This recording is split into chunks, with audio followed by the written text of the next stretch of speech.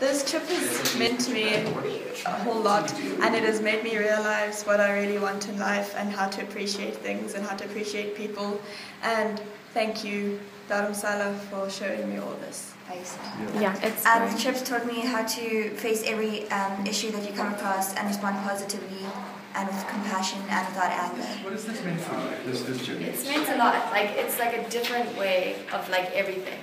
So like you come back and you don't have time for those little petty, like "Ah, I like the temperature today, or my shoes are broken. Like, okay, Tibet. mm.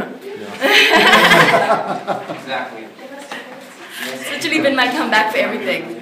Do you know what's happening in Tibet? Because it's quite intense. Eh? So don't complain about your shoes because I can tell you things. Um, the trip for Dharamsala was like really meaningful to me because it taught me a lesson that from the evils from that we've seen from like, mankind, um, we also have the potential to tip the scale and do amazing good. And that's really inspired me to start getting involved with my community and also just everyone around me.